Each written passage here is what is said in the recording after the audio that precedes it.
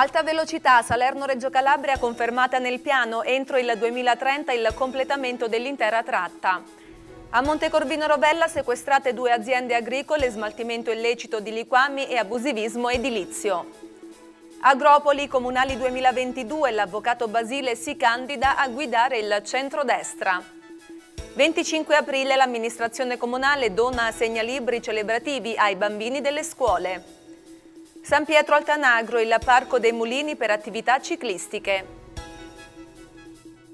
Buonasera e bentrovati all'appuntamento con il nostro telegiornale. Il Piano Nazionale di Ripresa e Resilienza punta tutto sull'alta velocità e tra i progetti principali è confermata la tratta della Salerno-Reggio Calabria con passaggio per il Vallo di Diano, riducendo i tempi di percorrenza da Roma in poco più di 4 ore. Ma vediamo i dettagli. Illustrato ieri alla Camera e oggi al Senato il Piano Nazionale di Ripresa e Resilienza dell'Italia, piano che nei prossimi giorni giungerà sulle scrivanie di Bruxelles per l'approvazione definitiva. Un piano che prevede anche la realizzazione di un'importantissima infrastruttura per il mezzogiorno e che toccherà anche il Vallo di Diano, l'alta velocità Salerno-Reggio Calabria. Un progetto che inorgoglisce lo stesso Premier che ne ha parlato come strategica. La Salerno-Reggio Calabria diventerà una vera alta velocità. E su questo progetto si registra anche l'intervento del ministro Giovannini che ieri sera nel corso dell'intervista rilasciata a Sette Storie su Rai 1 ha sottolineato come la tratta che attraversa il Vallo di Diano sarà conclusa entro il 2030, data in cui sarà possibile, grazie al progetto, percorrere il tratto Roma-Reggio Calabria nello stesso tempo che occorre per coprire il tratto Roma-Torino. Dal progetto infatti Roma-Reggio sarà raggiunta in 4 ore e 15 minuti, addirittura meno di quanto si impiega per raggiungere Torino. Nel dettaglio del piano approvato dal Consiglio dei Ministri ed in fase di illustrazione al Parlamento viene spiegato che si estenderà l'alta velocità al sud con la realizzazione dei primi lotti funzionali delle direttrici Salerno-Reggio Calabria e Taranto-Potenza-Battipaglia. Confermata quindi la volontà di realizzare i primi lotti della tratta utilizzando i fondi del recovery. Per ciò che riguarda nello specifico il progetto che interessa il Vallo di Diano, si legge, al completamento dell'intero progetto il tempo di percorrenza sarà ridotto di 80 minuti. Altro punto che può interessare il territorio riguarda l'intenzione nel realizzare altri interventi di potenziamento dei collegamenti nazionali che riguarderanno diverse aree del paese, in particolare nelle regioni del sud. Questi interventi, si legge nel piano, mirano a potenziare e rafforzare le linee ferroviarie regionali, sostenendone anche il collegamento e l'integrazione con la rete nazionale ad alta velocità. Un progetto questo che mira a favorire l'accessibilità all'alta velocità in termini di numeri di utenti, riuscendo così anche a favorire un maggior ricorso alla mobilità sostenibile rispetto all'utilizzo dell'auto che al momento al sud è particolarmente diffusa. Un passaggio poi anche per la riqualificazione delle stazioni attualmente esistenti. Passaggio questo che interessa il Golfo di Policastro dove sono previsti interventi finalizzati a migliorare l'accessibilità alla stazione di Sapri. Voltiamo pagina, smaltimento illecito di liquami, abusivismo edilizio e abbandono di rifiuti speciali. Due aziende agricole sono state sequestrate a Montecorvino Rovella. I dettagli nel prossimo servizio.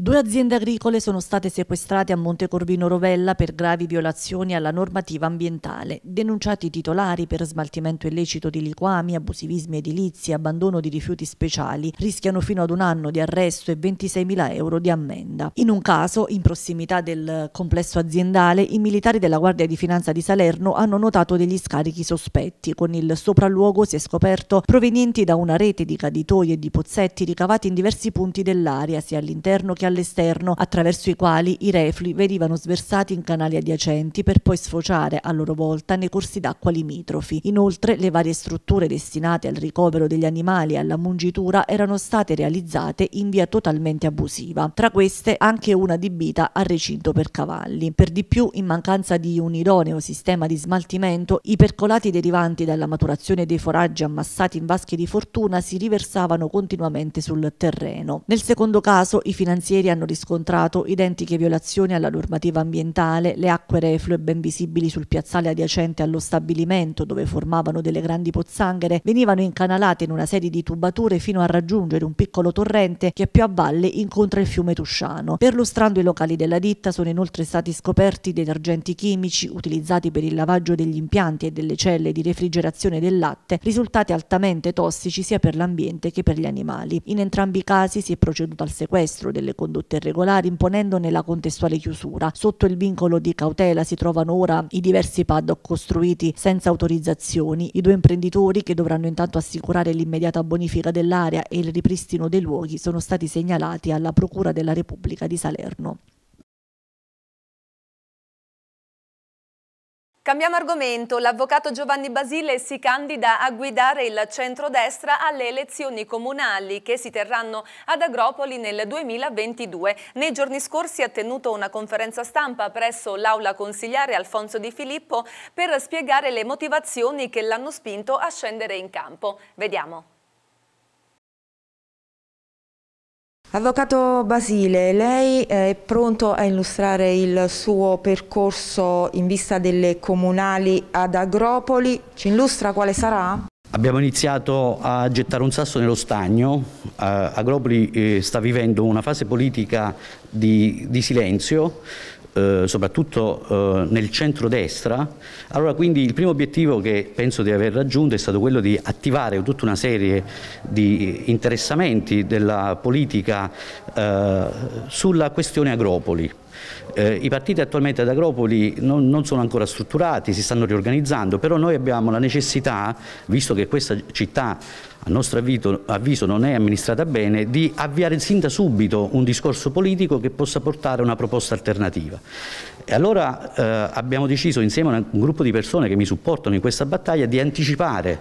Agropoli è stata sempre abituata negli anni eh, che gli ultimi mesi prima della tornata elettorale si presentavano delle liste, ci, si cercava di fare qualcosa. Noi vogliamo partire da molto prima degli altri, eh, qualizzare dietro a dei progetti, eh, non vogliamo entrare in determinate critiche o determinate polemiche, ma vogliamo analizzare le problematiche della città, eh, studiarle, fare dei progetti, delle proposte. Quindi noi andremo avanti illustrando eh, in, nel, nel, breve periodo nostre, i nostri loghi delle liste, le connotazioni delle varie liste, le persone che aderiranno a questo progetto, i progetti che vogliamo portare avanti avanti, in modo che non si arriverà poi in campagna elettorale col classico opuscoletto, noi faremo questo, ma noi avremo già l'idea di quello che dovrà accadere eh, in meglio per la città subito dopo la tornata elettorale. Bisogna rilanciare turisticamente Agropoli perché eh, Agropoli non ha un assessore al turismo, quindi non è una città turistica, una città che non ha un assessore al turismo. Per fare questo bisogna rendere la città accogliente, accogliente per i turisti, perché a volte ad Agropoli si parla che la qualità del turismo non è adeguata, ma la qualità del turismo è adeguata alla proposta turistica di una città. Eh, e quindi bisogna partire da qui per poi portare eh, un incremento di investimenti dei privati su una città, perché perché se una città non è appetibile per i turisti non lo sarà nemmeno per gli imprenditori, nemmeno per i marchi importanti che vogliono investire in quella città.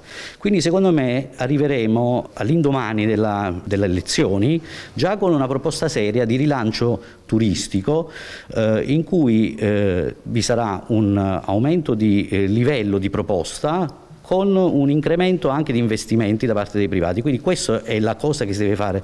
Diciamo, l'obiettivo, come lei già ha detto, è quello di avere un fronte del centro-destra unita. Se non si dovesse realizzare questo, questo obiettivo, lei procederà in senso civico? Eh, io eh, ritengo di rappresentare il centrodestra, ma non inteso come la sintesi dei partiti di centrodestra. Io mi rivolgo all'elettorato di centrodestra. Agropoli è una città di centrodestra perché alle politiche il centrodestra ha sempre vinto. Eh, e io mi rivolgo a quelle persone, al di là di quello che faranno i partiti che hanno le loro sensibilità, le loro dinamiche, le, le, le loro cose, eh, io andrò avanti eh, in una candidatura di spiccata, eh, spiccato indirizzo di centrodestra, al di là di quello che vorranno fare i partiti e che io rispetto sin da adesso. Un nuovo dono celebrativo e formativo è arrivato ai ragazzi delle scuole di Sala Consilina dall'amministrazione comunale. Dopo la Costituzione italiana per i diciottenni, ai bambini il segnalibro celebrativo del 25 aprile. Vediamo. Non potendo celebrare la giornata del 25 aprile, l'amministrazione comunale di Sala Consilina ha voluto comunque raggiungere i giovani per sensibilizzarli sui temi legati all'amor di patria. Da diverse settimane l'amministrazione Cavallone ha dato il via ad iniziative rivolte ai più giovani, prima con la consegna presso le abitazioni dei ragazzi che hanno compiuto 18 anni lo scorso anno 2020 del testo della Costituzione italiana e nei giorni scorsi facendo recapitare nelle scuole dei segnalibri dedicati al tema della libertà attraverso una citazione di Pietro Calamandrei. Due iniziative rivolte ai ragazzi salesi per risvegliare in loro il sentimento di difesa dei diritti e della Costituzione italiana ed in particolare nei suoi principi fondamentali. Per trasmettere quindi ai giovani il valore della Costituzione si è pensato al dono del volume, la cui consegna presso le case dei neo diciottenni è stata completata nei giorni scorsi. Per i bambini e i ragazzi delle scuole primarie e secondarie invece si è pensato al segnalibri con una frase che stimola verso la difesa della patria e dei diritti. Era giunta l'ora di resistere, era giunta l'ora di essere uomini, di morire da uomini per vivere da uomini. Questo l'ho scritto riportato sul segnalibri celebrativo con l'amministrazione che nell'annunciare l'iniziativa ha citato anche una frase di Calamandrei. La libertà è come l'aria, ci si accorge di quanto vale quando comincia a mancare. Dopo che nel mese di marzo è stata consegnata una copia della Costituzione ai neomaggiorenni salesi, spiega l'assessore alla cultura e alle politiche giovanili Francesco Spinelli, continua l'azione dell'amministrazione volta a condividere con i cittadini, in modo particolare con i più giovani, i precetti fondanti della nostra società e della nostra democrazia. La consegna della copia della Costituzione, così come quella di questi segnalibri, spiega, sono soltanto piccoli gesti, ma fatti assecondando la speranza di voler provare a incuriosire i più giovani in modo tale che così possano essere spinti ad approfondire determinati temi che rappresentano i fondamenti della storia italiana e quindi di quello che siamo. Sono state rinnovate le cariche della FENAILP Alberghi della provincia di Salerno. Marco Sansiviero, titolare del Best Western Hotel La Conchiglia di Palinuro, è il nuovo presidente. Nel consiglio direttivo ci sono due imprenditori del Vallo di Diano, Antonio Marino dell'Hotel Magic di Atena Lucana e Alfeo Cancellaro del Villa Cosilinum di Padula. Grande soddisfazione è stata manifestata dai docenti e dalla dirigente scolastica del Liceo Scientifico Pisacane di Padula per il grande lavoro e la evidente capacità mostrata da un allievo Antimo Chiariello che ha raggiunto la menzione speciale al concorso di fisica premio Caianiello 2021. Vediamo i dettagli. Ancora un importante risultato per un allievo del liceo scientifico Carlo Pisacani di Padula che nella giornata di ieri ha festeggiato l'ottimo piazzamento di Antimo Chiariello, studente della terza B che ha partecipato al concorso di fisica premio Caianiello 2021 promosso dall'Università di Salerno. Il giovane allievo del liceo Pisacani si è infatti classificato nella graduatoria degli alunni meritevoli con menzione speciale, un risultato che lo vedrà tra i premiati alla cerimonia in programma a fine maggio nel nell'ambito della conferenza conclusiva del premio che si svolgerà in modalità online. Menzionati per essersi distinti nella partecipazione al concorso anche gli alunni Gennaro Gaito della classe quinta B, Carmine De Paola e Vincenzo Pinto della terza B. Il liceo di Padula è l'unico a rappresentare l'area del Vallo di Diano nella graduatoria di attribuzione del premio. Il premio Caianiello è stato istituito dall'Istituto internazionale per gli alti studi scientifici in collaborazione con il Dipartimento di Fisica dell'Università di Salerno per onorare la memoria dell'eminente scienziato ed educatore professor Edoardo Caianiello. Al concorso possono partecipare gli studenti che frequentano l'ultimo triennio delle scuole secondarie superiori delle province di Salerno, Avellino e Benevento. La prova consiste nella risoluzione di alcuni problemi di matematica e fisica, di cui una traccia in inglese. Grande soddisfazione per il risultato ottenuto dagli studenti del liceo Pisacane è stata espressa dalla dirigente scolastica Maria D'Alessio.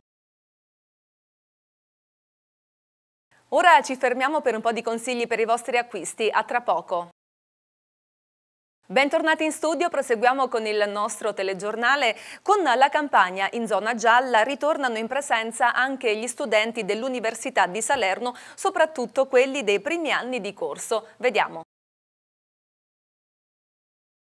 Ripartono le attività didattiche in presenza anche all'Università di Salerno in accordo con il Comitato regionale di coordinamento delle università campane in seguito alla collocazione della campagna nella zona di rischio gialla. Da ieri sono ritornati a seguire le lezioni del secondo semestre per l'anno accademico 2020-2021 in presenza gli studenti dei primi anni di corso. Viene comunque garantita la possibilità di fruizione anche da remoto secondo i piani di organizzazione delle attività didattiche già adottati possono svolgersi in presenza anche le lezioni e i seminari dei corsi di dottorato di ricerca, garantendo la possibilità di fruizione delle attività anche a distanza. Inoltre, fanno sapere dall'UNISA, si possono svolgere in presenza anche le attività pratiche di laboratorio e di tirocinio, incluse quelle svolte in campo anche all'esterno delle sedi dell'Ateneo e quelle attività finalizzate alla produzione delle tesi di laurea e di dottorato e i tirocini dei corsi di studio dell'area medica, sanitaria, odontoiatrica pediatrica e farmaceutica, in presenza anche le prove pratiche degli esami finali abilitanti dei corsi di laurea delle professioni sanitarie, infine modalità di svolgimento in presenza anche per le sedute di laurea dei corsi di laurea magistrale, garantendo comunque la possibilità di svolgerle a distanza per gli studenti impossibilitati a sostenerle in presenza. Investi in te stesso è stato il tema del webinar che si è tenuto nello scorso fine settimana al Cicerone, rivolto agli studenti ITIS IPSIA con la collaborazione di Maria Antonietta Aquino di Confesercenti Vallo di Diano. I dettagli. Investi in te stesso è stato il tema dell'incontro sul web che si è tenuto nello scorso fine settimana rivolto agli studenti dell'ITIS IPSIA del Cicerone di Sala Consilina, supportato dalla dirigente scolastica Antonella Vairo, dal responsabile job placement Antonio Rosciano e dai docenti degli indirizzi interessati, in collaborazione con Maria Antonietta Aquino, rappresentante della Confesercenti Vallo di Diano. L'evento ha permesso agli studenti degli indirizzi ITIS Sistema Moda e IPSIA di conoscere le realtà occupazionali del territorio. Gli argomenti trattati hanno riguardato riguardato le opportunità dei giovani diplomati di accedere al mondo del lavoro, in particolare si è discusso di tirocini, bonus occupazionali, apprendistato, garanzia giovani, resto al sud, opportunità di colloqui post diploma con aziende associate, progetti europei. All'incontro hanno preso parte diversi giovani imprenditori, rappresentanti di note aziende del Vallo di Diano che hanno interagito con gli studenti. Il webinar ha rappresentato l'occasione di confronto e apprendimento per far comprendere alla scuola le richieste delle aziende del territorio e alle imprese i programmi dei diversi diversi indirizzi scolastici. Molto soddisfatta la dirigente scolastica Antonella Vairo per l'esito dell'evento curato dall'animatore digitale Antonio Anzalone. Ora parliamo di sport. Nei mesi di maggio e giugno nel Parco dei Mulini a San Pietro Altanagro ci saranno attività sportive ciclistiche con l'associazione Ciclo Team Tanagro. Vediamo il servizio. Il Parco dei Mulini a San Pietro Altanagro sarà un'area di ritrovo per attività sportive ciclistiche nei prossimi mesi di maggio e giugno. Il comune, guidato da Domenico 40, infatti ha approvato con delibera di giunta di concedere gratuitamente l'area di proprietà comunale all'associazione sportiva dilettantistica Ciclo Team Tanagro per le attività di allenamento. Il comune di San Pietro Altanagro, si legge nella delibera, ritiene le attività sportive come momento di aggregazione e coesione sociale da incrementare per migliorare la qualità qualità della vita dei cittadini, soprattutto incentivando le forme di partecipazione dei singoli e delle associazioni operanti sul territorio alla ideazione e realizzazione di tali attività. Dunque la proposta dell'associazione Ciclo Team Tanagro è stata ritenuta meritevole di approvazione anche in considerazione del fatto che l'amministrazione comunale intende promuovere le attività culturali, sportive e dedicate al tempo libero, con particolare riguardo alla socializzazione giovanile e anziana, così come previsto dallo Statuto statuto comunale. Il Parco dei Mulini inoltre sarà curato e riordinato dall'associazione sportiva nel corso dell'utilizzo per gli allenamenti. L'amministrazione comunale si specifica nella delibera, ha inoltre considerato il progetto degno di sostegno in quanto volto alla promozione dello sport e per la grande rilevanza sociale che svolgono le manifestazioni sportive per ragioni anche di aggregazione e sviluppo della coesione sociale.